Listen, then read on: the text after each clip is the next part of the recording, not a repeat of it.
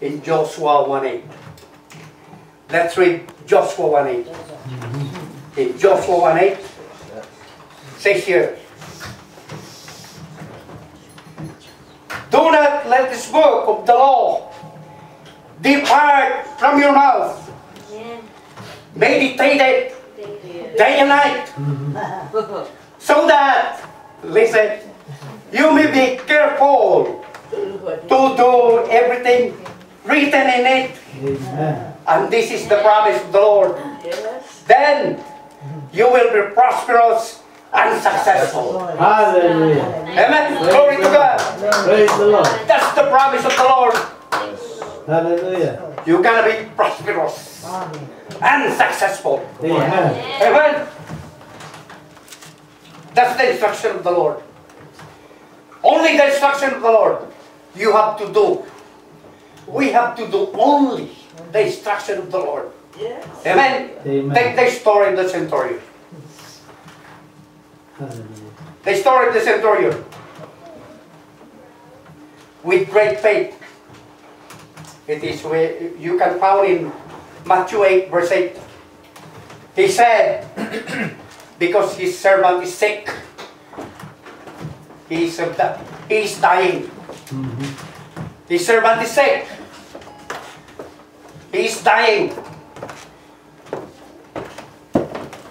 The centurion said, Lord, I do not deserve to have you come under my roof. But just say the word. Just say the word. Hallelujah. The word. And my servant will be healed. Amen. If you don't know the word of God, Mhm. brothers and sisters, I'm sorry. If you don't know the word of God, I amen. Hallelujah. Yes, I I agree. know. We could see You know. I know. how significant and important the word to know the word of God is. The Lord will never say no.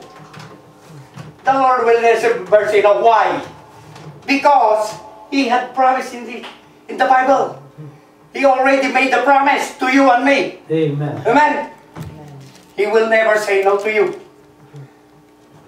Through His words, which will accompanied by by what?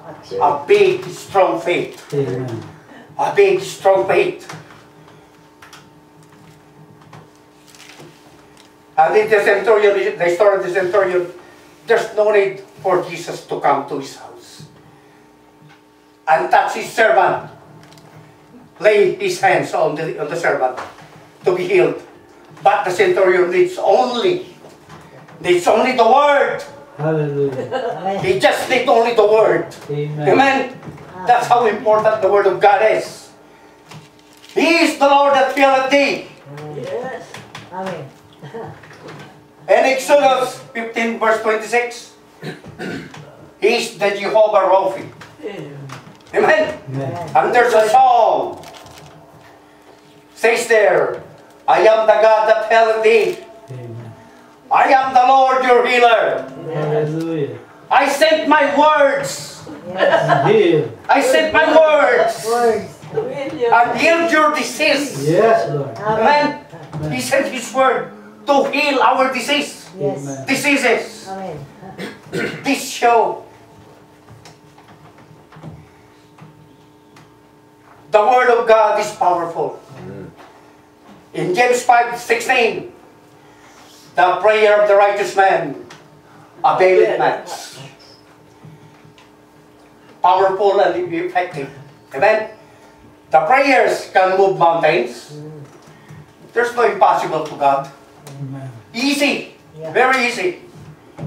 But accompanied by a strong faith. Mark 11 verse 34. Mm-hmm. And our conclusion, God don't like us to suffer. God never never wants us to, to suffer. Or He doesn't want you to be sick. No. Or any hardship, no. Or impoverished life. God, that, God doesn't like that. Amen. The Lord wants us to be healthy, prosperous in 3 John 2. Amen. What is that it says there? 3 John 2. It's about all things. Dear friend, I pray that you may enjoy good health and that may go well with you. Amen. Even your soul is getting on well. Amen. Amen. The Lord wants us to be perfect from head to toe. Amen. Amen. But it should be proportion. It should be proportion or balance. Our father, again, this is the verse of my father, my late father. If it is proportion, your head is not bigger than your your tummy. Amen. Amen. Your head is bigger than your tummy. Or your feet. It's much longer than your legs. Amen. That is not proportion. Ah, Amen. That is not proportion. The Lord wants us to be perfect. Just claim that we are victorious. Amen. We are more than conquerors. Hallelujah. You can you can see that in 1 Corinthians chapter 15, 57 and Romans 8, 31 to 39. Amen.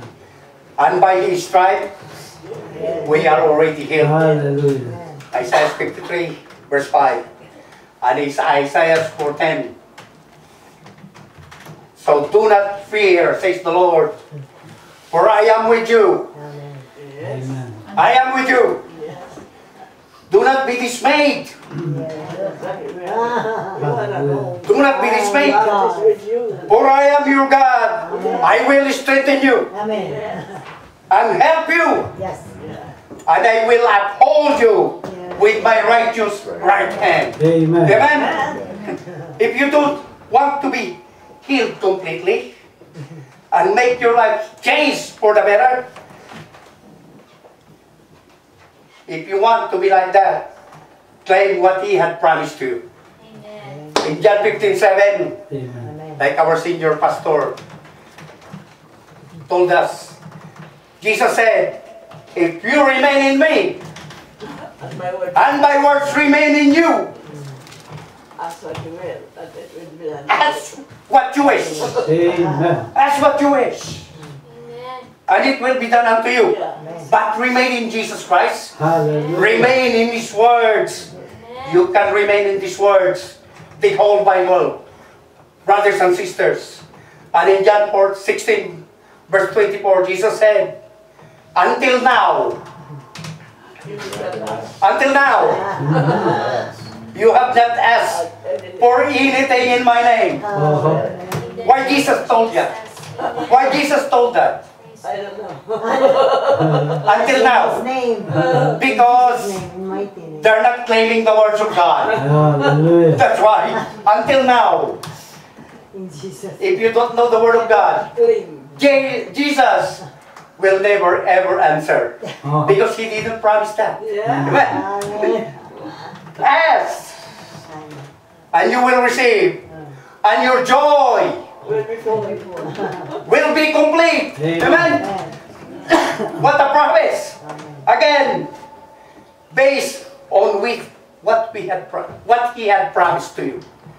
And in John 14, 14, Jesus again said, You may ask for anything in my name, Yes. and I will do it. That's what Amen. No, no. This Jesus, ask him what you are wishing for through his name. Amen. Because in, in John 14, 6, Jesus said there, I am the way, The truth and the the life. truth, and the life.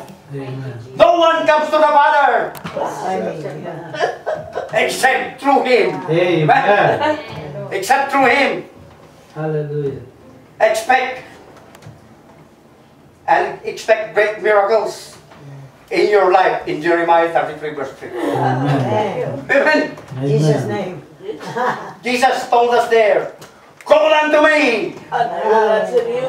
and I will answer thee, Hello. Hello, and, and show you Great and unsearchable things you do not know. Yes. Amen. All you have to do is call. Amen. How do you call? By praying and claiming the word of God. Yes. Amen. Amen. To God be the glory. Let us bless our